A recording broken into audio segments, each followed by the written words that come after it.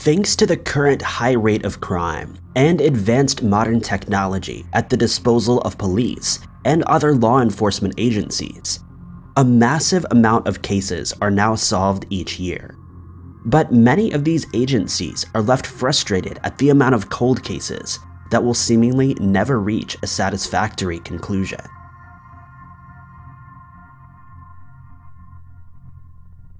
Number 5. On the 21st of September, 1978, 73 year old Nan Dixon from Grass Valley, California, traveled 180 miles to Seven Troughs near Lovelock, Nevada, to collect $6,000 owed to her by her brother, Harry Layton.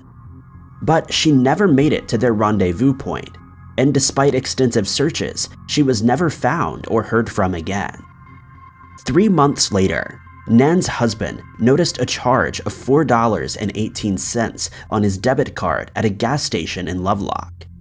Police searched the area but found no trace of her.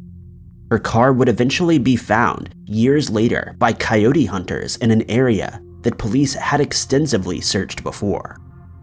They found tire marks leading to the spot, indicating that it had been driven there recently, and two pieces of duct tape one of which contained possible human tissue and a strand of hair attached to it.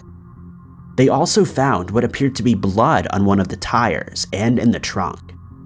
In the car, they found four packs of cigarettes in a brand different to the one that she usually smoked, and a partial note which read, quote, keeps telling me to use my gun and end my nightmare, but this I'll never do, for God gives life, only God can take life, Committing suicide is unpardonable, and I will never be. Nothing more was ever discovered to explain Miss Dixon's disappearance.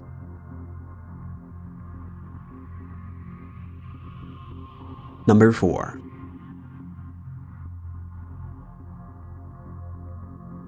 Ken McElroy was one of 16 children, and by the time he was 15, he was known as a cattle rustler and a small-time thief. He was later indicted 21 times, but would always get off scot-free as witnesses were too intimidated to testify against him since he would follow them around or park outside their houses to watch them. In 1980, one of McElroy's 10 children was accused by a store clerk, Evelyn Summy, of stealing candy from a store owned by 70-year-old Ernest Bowenkamp. McElroy began to stalk the Bowenkamp family and on one occasion entered the store to threaten Ernest with a shotgun. A confrontation ensued, and McElroy shot Ernest in the neck, though he would survive the attack. McElroy was charged with attempted murder, but convicted only of assault and was released on bail. Shortly afterward, he went to the D&G Tavern with a rifle, where he loudly described what he was going to do to Ernest. On a later occasion, while McElroy was in the bar again, townspeople decided to confront him and swamped the tavern. He decided to leave after buying six beers for the road, but he was gunned down while sitting in his truck. Though there were 46 witnesses, including his wife, no one identified the shooter or called for an ambulance, and his killer remains unknown.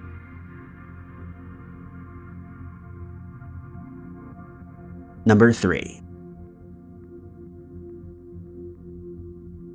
In 1947, 22-year-old Christina McCone lived in Ontario where she was employed at a local bank. She was in a relationship with 26-year-old John Ray Kettlewell, whom she'd known for three years. The couple were good friends with Ronald Barry, a 28-year-old Italian immigrant and professional ballroom dancer. In May of the same year, John and Christina decided to get married, but her family were against it as they had concerns over their relationship. Christina's sister, Helen, felt that the three spent too much time together, and she suspected Ronald may be in love with Christina. The couple decided to elope and spent the first three days of their honeymoon at an apartment in Tyndall Avenue, along with Ronald, before traveling to Ronald's cottage in Severn Falls, which was only accessible by boat. After arriving at the cottage, Christina started to behave strangely seemingly dazed at times before going into crying fits.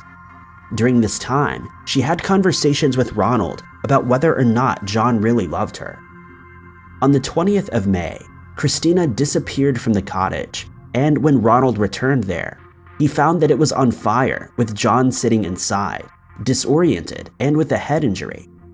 He managed to pull his friend from the burning building and immediately started looking for Christina.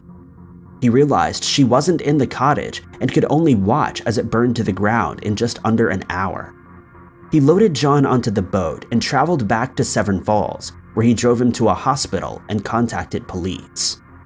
That evening, Neville Sweet, the owner of the boathouse near the cottage, found Christina's body in just 9 inches of water, 150 feet away from the cottage. She had no burn marks from the fire and didn't seem to have undergone any trauma at all. Her autopsy revealed that she had codeine in her stomach, but the cause of death was ultimately declared as drowning. Major Lawrence Scarterfield, who had tried to put out the fire earlier, stated that he'd seen no signs of a body when he was fetching water while fighting the fire earlier. Jack claimed that he couldn't remember anything that had happened after 11 a.m., and both men were interrogated, but nothing came of it. At an inquest into her death, a jury decided that there wasn't enough evidence of foul play, and although the two men's relationship seemed to be more than they let on, Christina's demise remains a mystery.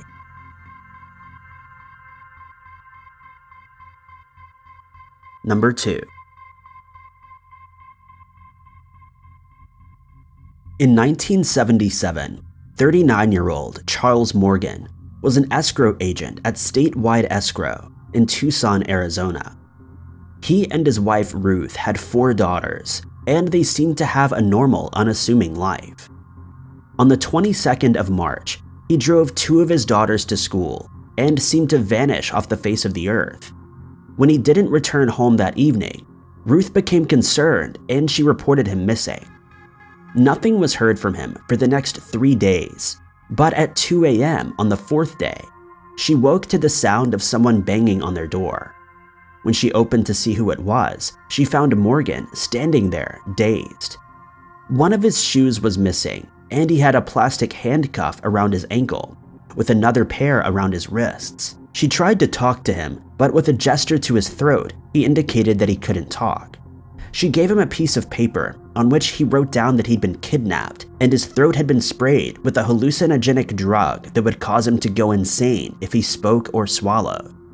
She begged him to go to the hospital, but he refused, saying that, quote, they would kill him and his entire family if he did. While she took care of him over the next few days, he told her that he'd been working for, quote, them for about three years, and that they had taken away his treasury identification. He also revealed that he'd been working for the federal government against organized crime, but the less she knew, the better. From this point on, he became paranoid and wore a bulletproof vest at all times. He would later reveal that he was due to testify against two mafia bosses in a case involving real estate fraud, and that if anything were to happen to him, he would leave a letter behind explaining everything. He then promptly vanished again, this time for good. His promised letter was never found, and the case grew cold until Ruth received a call from a woman who called herself Green Eyes, and she said, quote, Chuck is all right. Ecclesiastes 12, 1 through 8.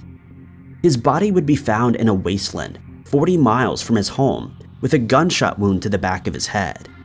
He was wearing his bulletproof vest and had with him a handgun, a hunting knife, and ammunition. As his gun had been fired, it was assumed that he had committed suicide, but gunpowder residue was found on his non dominant left hand, Police found one of his teeth wrapped in a cloth on the car's back seat. They also found a hand-drawn map and a $2 note clipped to the inside of his underwear, along with a pair of glasses which belonged to someone else on the front seat. On the bill, seven Spanish names were written, along with the words Ecclesiastes 12, 1 through 8. On the back of the note were the names of people who had signed the Declaration of Independence, numbered 1 through 7, and a map leading to Robles Junction. The woman named Green Eyes would later call police to tell them that Chuck had driven to the desert to pay a hitman who'd been hired to kill him. But the hitman ended Chuck's life and fled with the money. his killer was never identified.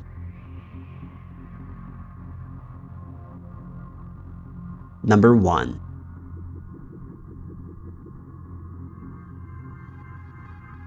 On the 2nd of January, 1935, a man who gave his name as Roland T. Owen booked into room 1046 at the Hotel President in Kansas City, Missouri. He would later be identified as Artemus Ogletree from Florida, who'd left his family in Birmingham, Alabama to hitchhike to California. At the hotel, he asked to be put in a room several stories up and staff described him as being well dressed in a dark coat, but he didn't have any luggage with him.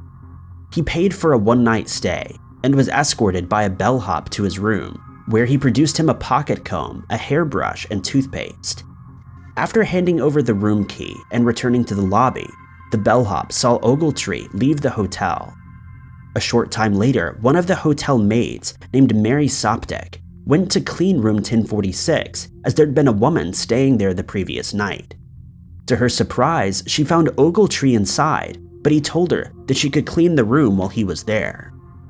Throughout his stay, staff noticed that he always had the curtains drawn with one dim lamp lit, causing them to believe that he was either hiding or afraid. When she cleaned, he decided to leave and asked that the room be kept unlocked as he was expecting friends in a few minutes. She returned to the room at 4 p.m. and saw him lying on the bed, fully dressed with a letter on the bedside table that read, quote, Don, I'll be back in 15 minutes. Wait. When she went back to the room the following morning, the door was locked from outside, and when she opened it, Ogletree was inside on the same spot as the previous day. He'd received a phone call in which he said, No, Don, I don't want to eat, I'm not hungry. At 4 p.m., she took fresh towels to the room, but was told through the door by another man that they didn't need any. On January 4th, the hotel phone operator noticed that room 1046's phone was off the hook. A bellboy was sent to investigate, but there was no answer at the door. At 8.30 a.m., another bellboy was sent to use his passkey to enter the room. He noticed Ogletree lying undressed on the bed, and he placed the phone back on the hook before leaving.